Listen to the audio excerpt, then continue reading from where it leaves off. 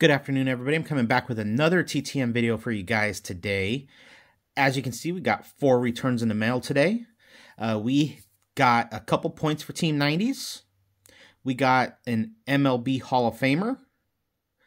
And the big one, that is correct, took 1,609 days to come back.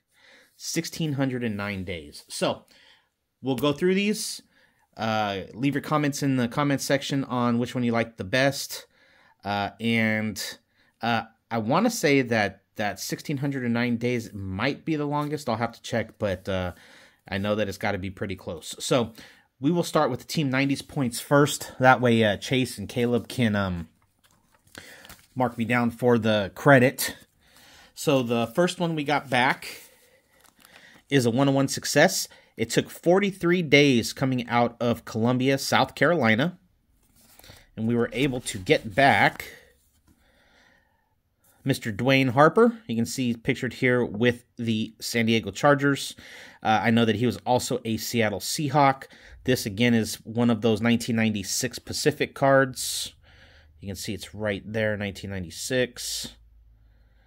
He was an 11th round selection from the Seattle Seahawks in 1988 don't have 11 rounds anymore. They haven't had 11 rounds in a long time.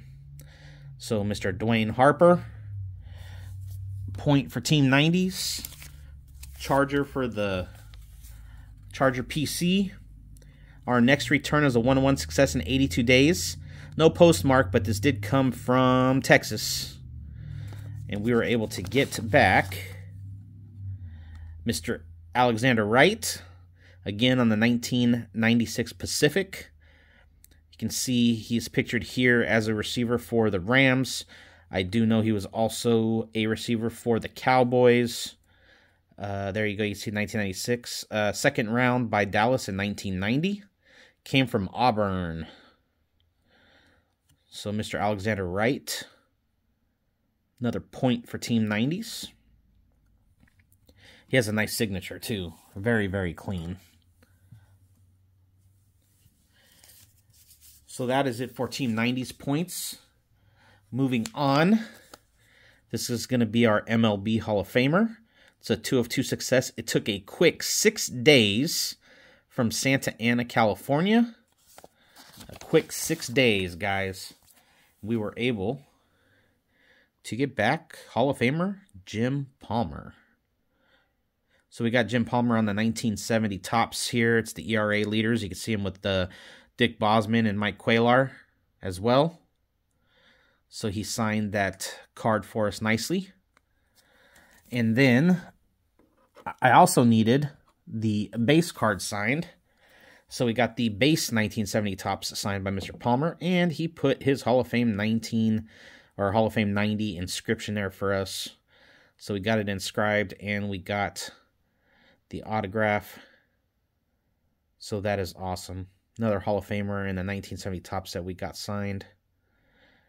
Looks great. Nice, six. it's nice signature, clean signature. The last time I sent to him, I had gotten a thumbprint accidentally. And so I was hoping we wouldn't get that this time, and we didn't. So that was awesome. So thank you, Mr. Palmer. A quick six days, guys. That was amazing. And uh, last but not least, it's our three of three success again in 1,609 days. Um, as you guys know, I always leave the addresses in the description. Uh, the address I use for this one will also be in the description.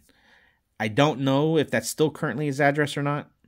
I don't know if it was forwarded and then held, or I don't know the story behind it. I will include the address I used, uh, but you might want to look it up uh, if you guys are going to send to him just to verify. But a three of three success. We were able to get back quarterback of the San Diego Chargers, Stan Humphries. Got Mr. Stan Humphries. Uh, got him on the 4x6 photos.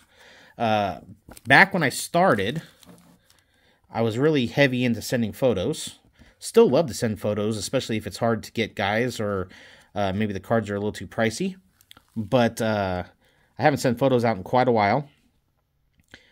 But we got Stan Humphries on this photo of his 1995 Edge Black Label.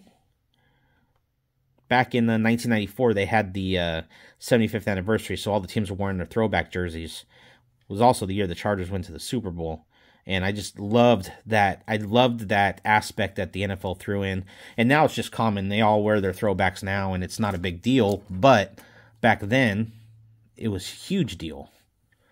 Next, we got him on the 1991 Topps. Uh, this is when he was with the Redskins.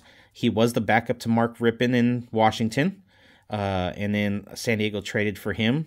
He became our starting quarterback and had a heck of a career until uh, injuries, most notably concussions, just caught up to him. But he was a fantastic, fantastic quarterback. And then last but not least, as it fell, that's okay. We got a little action shot again from the seven uh, the 1994 uh, season. You can see the 75th anniversary patch right there in the powder blues. My favorite jersey of all time. Uh, wanted to get a little action shot of him as well, and so that's what we got. So a three of three success from Mr. Stan Humphries. Got two from Mr. Palmer, and then one from Mr. Wright and one from Mr. Harper. Uh, fantastic, fantastic day. I love those long shot surprises as far as, uh, you know, you send them out in the mail and uh, you never expect something that's out for 1600 days to come back. But there's always that opportunity, and I just love getting those old ones back. So very, very cool. So anyways, guys, hope you enjoyed the video. Hope you guys saw something that you really liked. If you did, leave it in the comments. Let me know. Anyways, thanks for all the support. As always, have a blessed evening. Until our next video, see ya.